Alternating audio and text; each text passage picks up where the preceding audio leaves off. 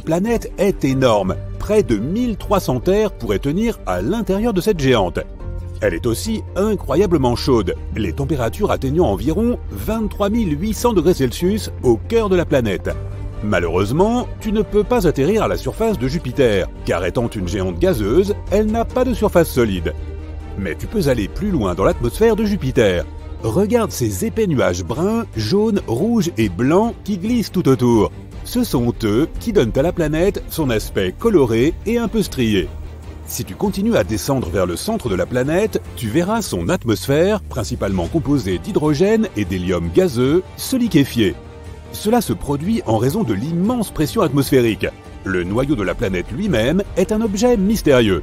Les scientifiques n'ont toujours pas compris s'il s'agit d'une boule d'un épais liquide en fusion ou d'une roche solide dont la masse serait 14 à 18 fois supérieure à celle de la Terre.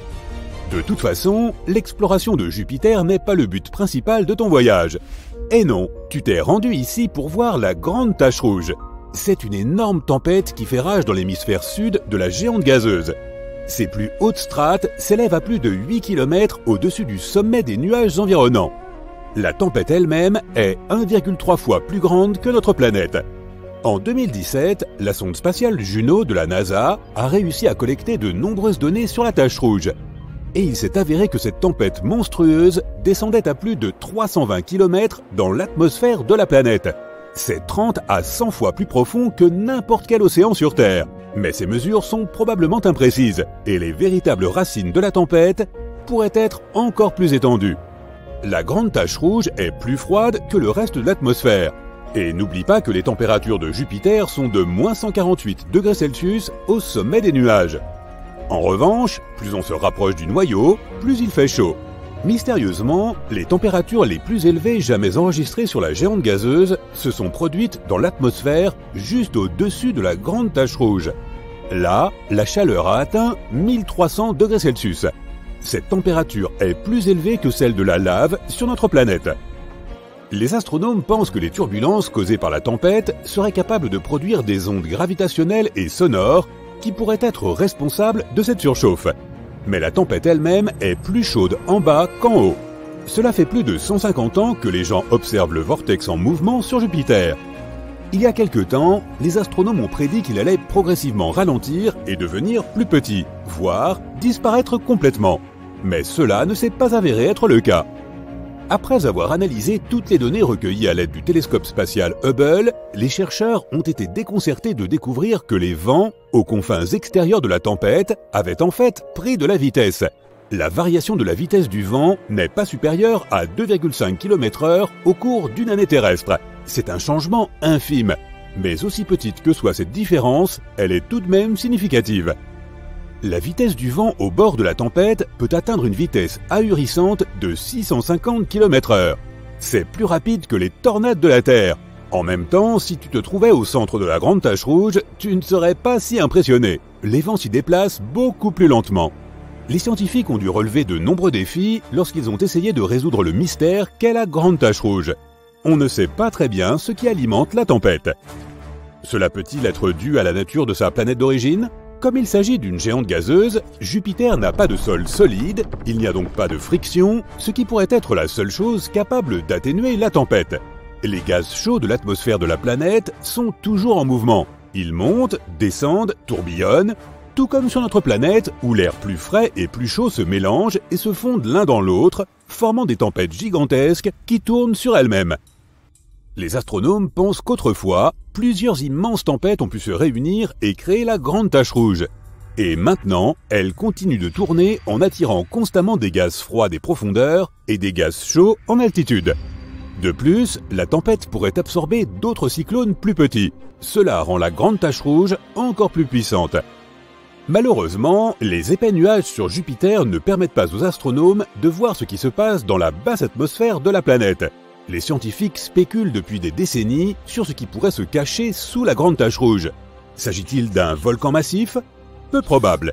Jupiter est principalement composé de gaz, et elle n'a pas de croûte qui pourrait se fissurer, laissant la lave s'échapper de l'intérieur de la planète. Il existe également quelques théories expliquant pourquoi la tempête possède cette couleur caractéristique. Elle varie du blanc et du rose pâle à l'orange vif en passant par un rouge brique. Certains scientifiques pensent que la réponse se trouve profondément sous la grande tache rouge, plus près de la surface de la planète. Une couche de gaz incolore pourrait réagir au rayonnement UV provenant du Soleil. C'est probablement ce qui donne à la tempête sa couleur rouge. Mais pour l'instant, ce n'est encore qu'une théorie. Et maintenant, tu en sais à peu près autant que nous. Jupiter n'est pas la seule planète qui peut se targuer de sa tempête géante. Une autre, aussi vaste que notre planète natale, fait rage sur Saturne. On l'appelle la Grande Tache Blanche. C'est pratique pour les différencier. La tempête a une traîne de nuages blancs qui encercle toute la planète, et elle se produit tous les 30 ans environ. Cette tempête démarre effectivement comme une tache, mais ensuite elle commence à s'étirer et à s'étendre. Les astronomes ont découvert que la grande tache blanche était en fait un énorme système d'orage, et au sommet de la tempête, les éclairs peuvent jaillir plus de 10 fois par seconde. Mais le principal mystère concernant la grande tache blanche est de savoir d'où elle tire son énergie. Certains scientifiques pensent qu'elle pourrait être alimentée par le Soleil, d'autres affirment que la configuration des nuages de la tempête n'a de sens que s'il existe une source interne de chaleur qui puisse alimenter les vents. Quoi qu'il en soit, les violentes tempêtes sur différentes planètes du système solaire ne sont pas le seul mystère spatial qui rende les astronomes perplexes. Passons à Pluton, la plus grande planète naine connue du système solaire, et explorons son atmosphère. Elle s'élève très haut au-dessus de la surface de la planète et comporte plus de 20 couches, toutes glaciales et extrêmement condensées. Par ailleurs, notre Lune a aussi une sorte d'atmosphère. Appelée exosphère, elle est composée d'hélium, de néon et d'argon. Elle est 10 000 milliards de fois moins dense que l'atmosphère de la Terre. En voyageant dans l'espace, fais attention aux trous noirs. Un trou noir est un endroit où la gravité est si forte que même la lumière ne peut pas en sortir. Mais les trous noirs peuvent parfois se comporter comme des volcans galactiques supermassifs. De temps en temps, ils s'enflamment, mais au lieu de cracher de la lave, ils produisent d'énormes quantités d'énergie et ce phénomène laisse des trous béants dans la matière et le gaz environnant. Il y a peu de temps, les scientifiques ont découvert l'un des plus grands cratères de l'univers. Les radiotélescopes et autres télescopes à rayons X ont détecté un trou noir supermassif qui a piqué une crise il y a de très nombreuses années. Cela s'est produit dans un amas de galaxies situé à environ 390 millions d'années-lumière de la Terre. Le cratère que cet événement a laissé derrière lui pourrait contenir 15 galaxies semblables à la Voie lactée. Oui, même moi ça me dépasse un peu. Pendant ton voyage à travers l'espace, réfléchis bien avant d'atterrir sur des planètes inconnues.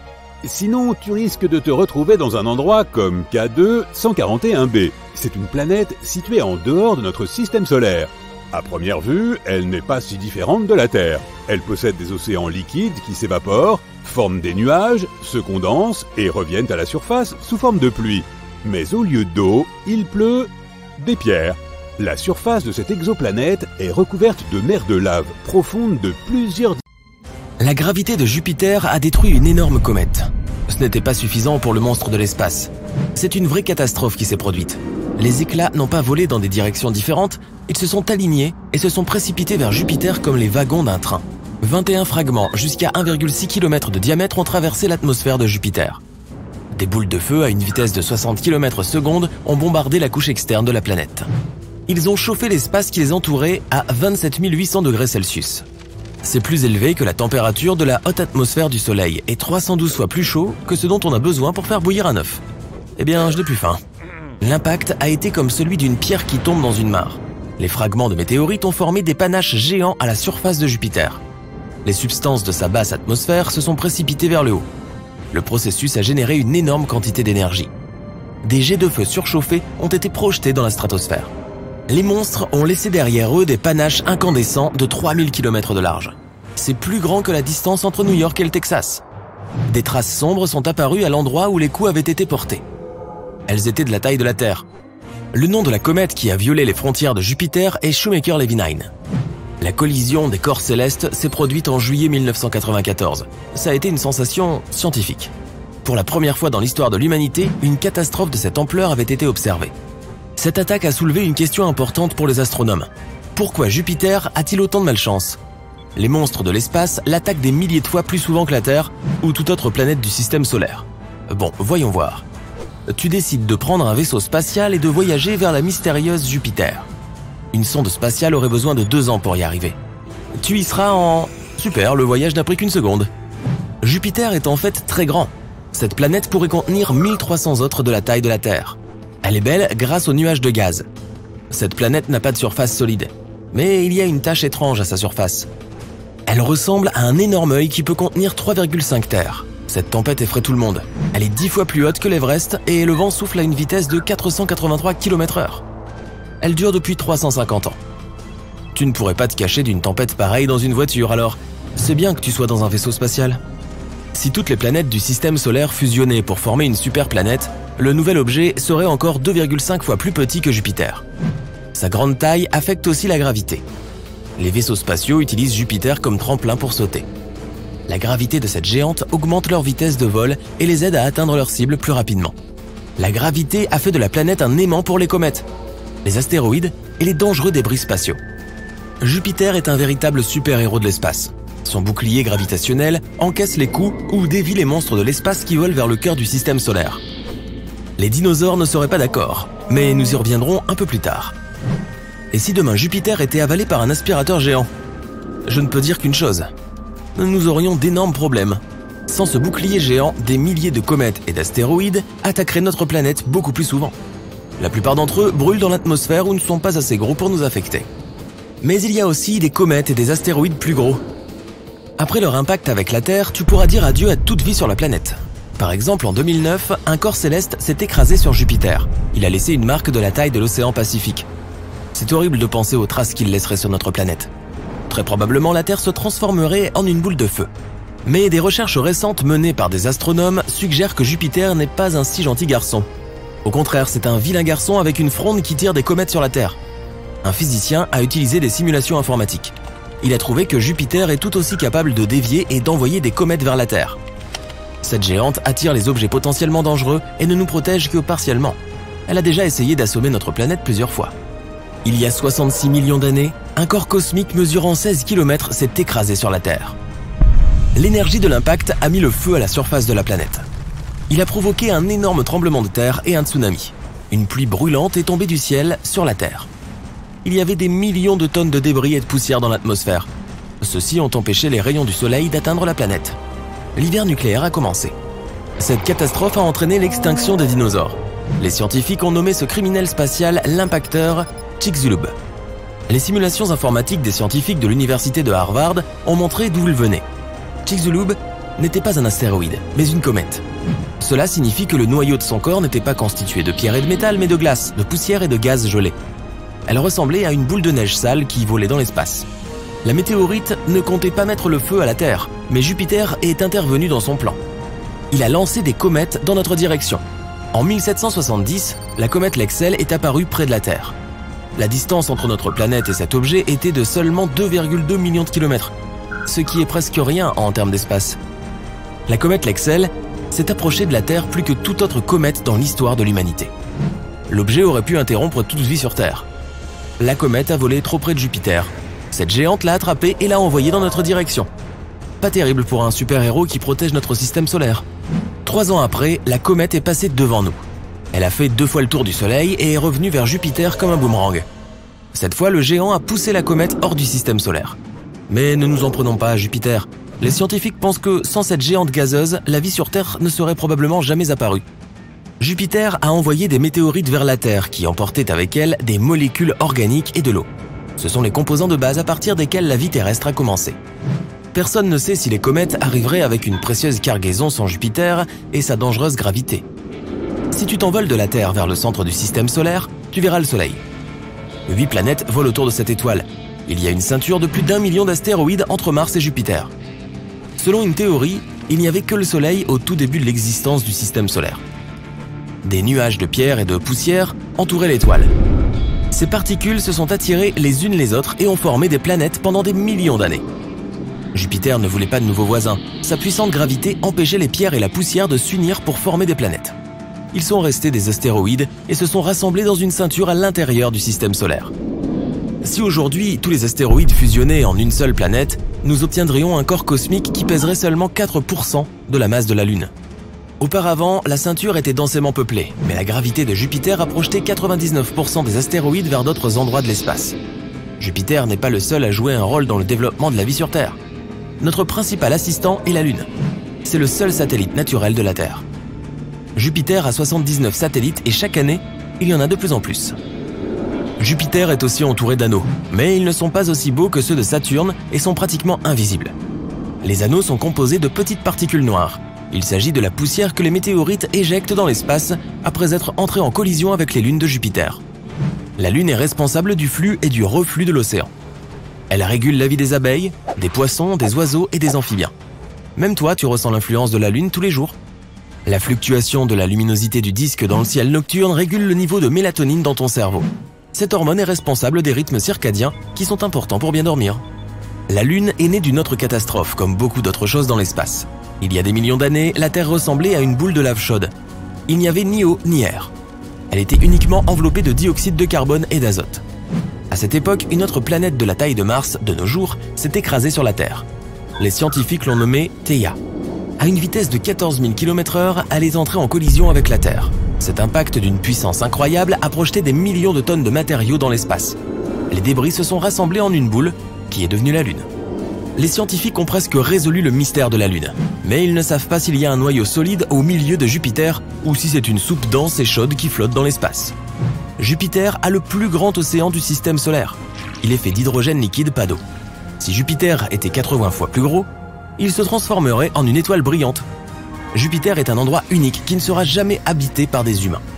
La pression à l'intérieur de la planète est 2 millions de fois supérieure à celle de la surface de la Terre.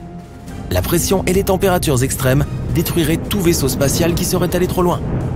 Je suppose que ça veut dire que Jupiter te ferait craquer.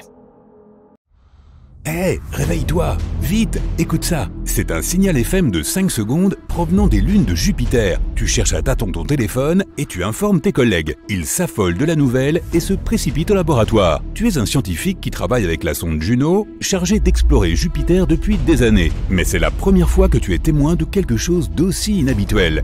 Ganymède est la plus grande lune de Jupiter et aussi la plus grande de notre système solaire. Si ce corps spatial n'était pas en orbite autour de Jupiter, il serait classé comme une planète.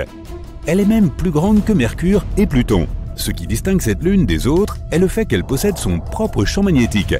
Elle est née il y a environ 4,5 milliards d'années, ce qui signifie qu'elle est aussi vieille que Jupiter elle-même. Ce corps spatial de la taille d'une planète met 7 jours terrestres pour tourner autour de sa propre planète. Tout le monde se rassemble au laboratoire, attendant impatiemment que tu passes l'enregistrement du signal venant de l'espace. Tes collègues se mettent au travail, essayant de trouver la source de ce son mystérieux.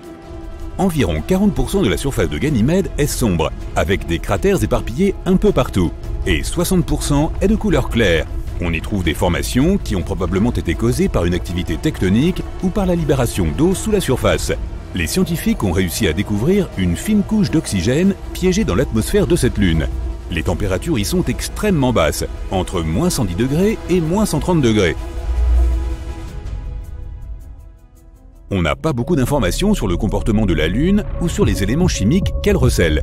Certains de tes collègues essaient de recréer les mêmes conditions que celles qui existaient lorsque le son a été transmis. Pendant des heures, ils restent assis à attendre, mais rien. C'était peut-être un coup de chance.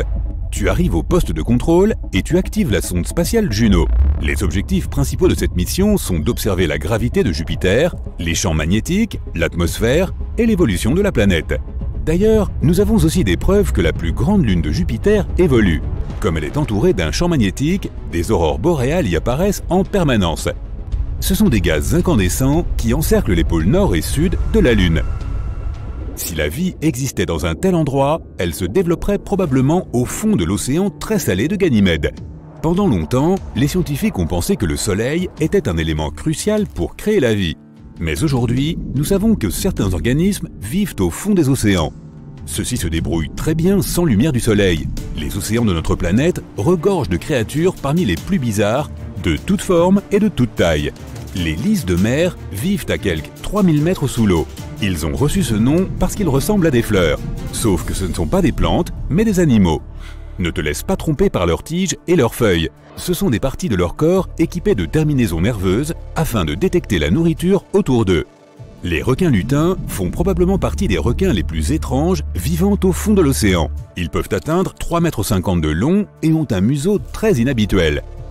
Maintenant, regarde la baudroie. Elle a une boule bioluminescente sur la tête pour attirer ses proies et se diriger dans les sombres fonds marins. C'est une lampe de poche naturelle qui n'a jamais besoin de nouvelles piles. Mais seules les femelles en sont dotées. Le blobfish est un autre animal bizarre vivant au fond de l'océan. Il peuple les océans Atlantique, Pacifique et Indien à 2700 mètres de profondeur. Quoi qu'il en soit, même si tu as demandé à tout le monde de garder la nouvelle confidentielle, elle transpire dans les médias d'une façon ou d'une autre et devient un nouveau sujet brûlant. Tu reçois un appel d'une agence de presse. Ils veulent t'interviewer sur cette découverte qui pourrait prouver que la vie existe dans l'espace. Le lendemain, tu te rends à la chaîne d'information pour parler de ta découverte. Tu as tout un public en direct dans le studio qui observe chacun de tes mouvements, même lorsque tu tends la main pour attraper ton verre d'eau. L'équipe se précipite pour faire quelques vérifications de dernière minute avant que tu ne sois en direct à l'antenne. La maquilleuse fait quelques dernières retouches, l'ingénieur du son te demande de tester ton micro une fois de plus. Plusieurs des producteurs sont assis sur les sièges de devant. Des lumières vives inondent le studio. Le compte à rebours est lancé. 3, 2, 1 et on te présente et l'animateur te demande d'expliquer ce que tu as entendu. Tu leur parles de la sonde spatiale Juno qui orbite autour de Jupiter. Après quelques questions, l'animateur aborde enfin la plus redoutée de toutes. Le son mystérieux pourrait-il provenir d'une autre civilisation? Tout le monde retient son souffle, attendant que tu répondes. Tu te figes, ne sachant pas quoi dire. Même si la pression au fond de l'océan est mille fois plus forte qu'à sa surface, la vie parvient à s'y développer. Les algues, qui sont considérées comme un mets délicat dans le monde océanique, ne sont pas comprises dans le menu pour les créatures des profondeurs en raison du manque de lumière solaire.